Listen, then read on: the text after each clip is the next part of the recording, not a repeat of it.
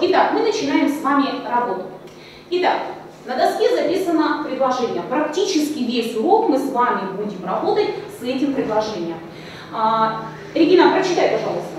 Ирина Хранюк посвятила 14 лет работе в школе. За это время она подарила свои знания в области русского языка и литературы огромному количеству учеников. Учитель признается, классы, как и дети, были разные. А в этом году ей посчастливилось передать свои знания ученикам, которым необходим особый подход. Приобретя огромный профессиональный опыт, женщина решила принять участие в краевом конкурсе «Учитель года». Если честно, два года назад я уже принимала участие э, в муниципальном этапе этого конкурса. Я была просто победителем.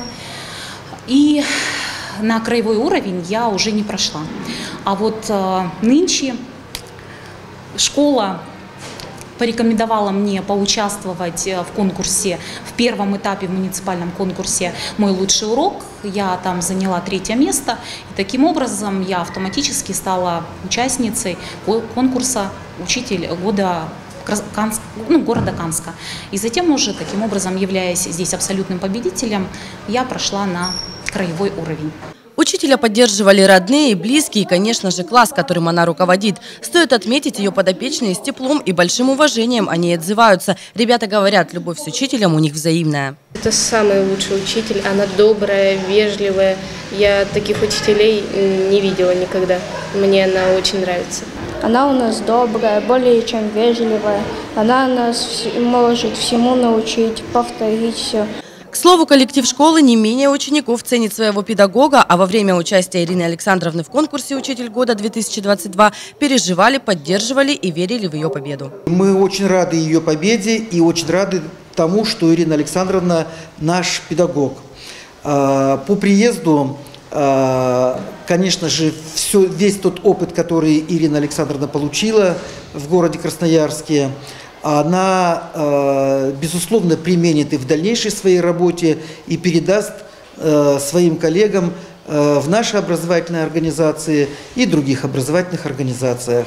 Ирине Александровне удалось справиться со всеми трудностями и препятствиями. Педагог оказалась в финале. В столице региона за звание «Учитель года» она поборолась с самыми сильнейшими педагогами из различных территорий региона. К слову, вырвать победу и заполучить звание «Учитель года» Красноярского края-2022 нашей землячке удалось успешно. Незабываемые впечатления. Да, действительно тяжело, но момент объявления результата стоил того. Да? Слезы, радость огромное значение имеет эм, ну, рост профессионального мастерства, когда ты беседуешь, когда ты смотришь уроки других учителей, профессионалов, действительно, которые являются мастерами своего дела. А, это беседы, встречи, какие-то рекомендации со стороны экспертов, которые э, нас старались э, ну, настроить э, на работу, старались дать ценные идеи какие-то, методические рекомендации по построению урока и профориентационного мероприятия.